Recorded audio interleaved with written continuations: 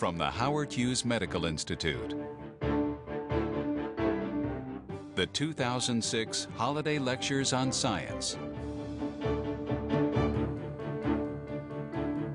This year's lectures, Potent Biology, Stem Cells, Cloning, and Regeneration, will be given by Dr. Douglas Melton, Howard Hughes Medical Institute investigator at Harvard University, and Dr. Nadia Rosenthal, senior scientist at the European Molecular Biology Laboratory.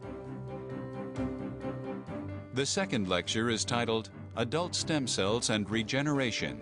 And now to introduce our program, the Vice President for Grants and Special Programs of the Howard Hughes Medical Institute, Dr. Peter Bruns. Well, thanks for rejoining us for these lectures on stem cells. Uh, before I introduce our next speaker, I'm going to make a short commercial message here for our other website called biointeractive.org. Uh, I recommend highly that you go to that site and take a look what's there. You'll find all sorts of interactive things, uh, animations, virtual labs, streaming video of previous holiday lectures, and all sorts of links to other places of, of, that are relevant for the topics. Uh, you also on that site can order for free DVDs of any of the uh, holiday lectures. Uh, and as Tom mentioned before, uh, starting next week, we're going to be putting on that site uh, the, the lectures as podcasts as well. So our next speaker is Nadia Rosenthal, who's the lab director and senior scientist at the European Molecular Biology Lab uh, in Italy it's a reflection of the international nature of science that she uh, has a lab that is uh, full of people from all over the world uh, working on her topic uh, and uh, asking how basic science can yield uh, medical breakthroughs. Nadia has long been interested in understanding how muscle cells develop and function, which has led to her interest in regeneration and aging. In her first lecture, she'll focus on the role of stem cells in wound healing and regeneration. So here's a short video to introduce Nadia.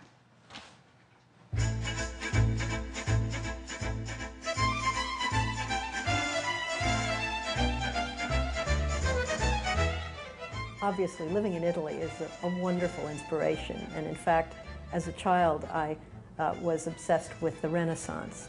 So to come back and spend uh, as much time as I possibly can when I'm not in the lab, roaming the churches and looking at the art that uh, just suffuses this, this city in Rome is an absolute delight. A lot of the people in the lab are also really enjoying the fact that we live in Italy.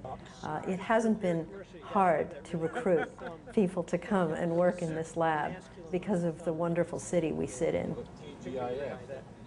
I've been aware of the, the responsibility for teaching, and not just teaching, but teaching in a way that is inspiring and is engaging.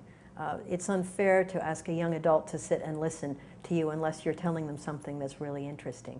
I find science endlessly interesting, so I have to figure out a way to make it as interesting to the students that I teach. The holiday lectures are a wonderful institution.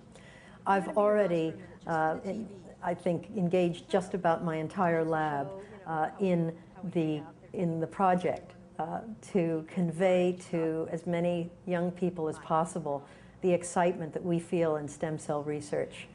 And it'll be a real challenge for Doug Melton and me to uh, meet the same sort of standards that we've seen in some of the previous uh, lecture series. But we're lucky because we have a really exciting uh, subject to work with. Stem cells are something that everybody's heard about. And what we're hoping to be able to do with this series is to make it crystal clear exactly what stem cells are, what they can and can't do, and why scientists are so excited about working on them.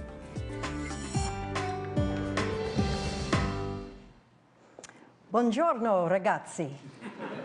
Don't worry, I'm not going to go on in Italian, but it's really wonderful to be here, and specifically to be here with all of you. I have to say that it was just about when I was your age, when I was 15, that I first became obsessed with biology. I had a fantastic teacher in high school, and I was thinking I was going to be an artist, and I got this, uh, this, this course that just made me realize that this was absolutely what I wanted to do for the rest of my life. And I think that the excitement of biology is very infectious, and I hope that some of you will get it and catch it at this, at this event. I'm also very excited to be able to do this with Doug, who for many years has shared with me this insatiable curiosity for developing embryos. But today I'm going to talk specifically about my most favorite topic of this particular part of my life, which is regeneration. So from Doug, you heard that the embryonic stem cell the ultimate embryonic stem cell, which is the fertilized egg, can give rise to a number of different tissues, in fact, to all of the tissues in your body. And it does so with a gradual process of differentiation and specification into these tissues that you see rendered here. But what Doug touched on, and what I'm going to spend the rest of my time talking to you about, is the fact that we must keep the deep and uh, very complex formation of our body intact for the entire time we're alive we have to keep our skin intact, we have to keep our bones intact, and even uh, such very highly turning over tissues uh, as some of the tissues that Doug mentioned have to stay the same shape, the size, and the function has to remain as well. So we're going to be talking about replenishment and renewal, which actually is happening even in you as young people. It's happening as soon as you form your body. And so it's a very interesting and engaging part of science. Now, I'll just point out a few of the organs that we know are very good at replenishing themselves, and Doug mentioned these. In the intestine, we are continuously sloughing off cells inside of our intestinal wall in response to the food that passes through, and that has to be continuously renewed. Or the liver. The liver clears our, our system, our circulation of toxins and waste products, and therefore has a heavy duty job the liver cells turn over and new ones are replacing all the time. And finally, our skin, which of course is our barrier to the outside world, is something that is getting sloughed off all the time and has to be replaced and replaced and replaced. And for those tissues, there are specialized cells that are set aside to do this very job. So, are those um, daily replenishing and renewing um, kinds of processes regeneration? What is regeneration? We hear a lot about regeneration. In fact, most of the beauty products that make your skin look better um, are apparently touted as great regeneration agents. So I'd like to actually get down to the real meaning of regeneration as we as biologists consider it. And to do so, I'm going to use a myth, the myth of Prometheus. So the ancients were very much aware of regeneration, in that's clear from this myth that came out of the ancient world, in which Prometheus, who is this giant titan, uh, stole fire from the gods, and fire stood for art and civilization, and he gave it to humans. And Jupiter was enraged by this theft, and so he took Prometheus and put him against the Mount Caucasus rock and tied him there, chained him there, and then sent a vulture every day to tear out his liver and devour it. And every night, when the vulture departed, Prometheus would lie there in agony, but his liver would regenerate, so that in the morning, the vulture had breakfast. And this went on and on. And of course, we, as mere mortals, aren't quite as good at doing that trick of regenerating our livers every night, although some of us probably wish we could. Um, and I should also say that if the vulture had chosen another organ to devour, such as Prometheus's heart, he wouldn't have been around to tell the tale.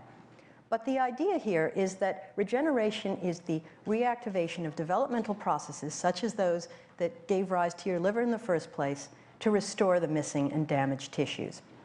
Now, is that the same as wound healing? It's not exactly the same.